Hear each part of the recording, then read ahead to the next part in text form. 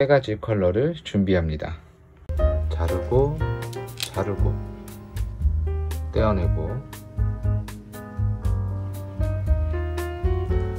뒤집고 자르고 자르고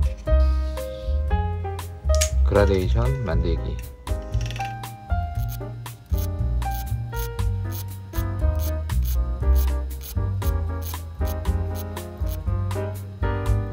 접고 길게 만들고 반으로 자릅니다.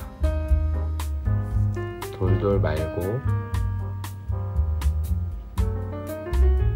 작게 만들고 자르고 자르고 띄우고 굽고 붙이면 귀걸이 완성 참 쉽죠?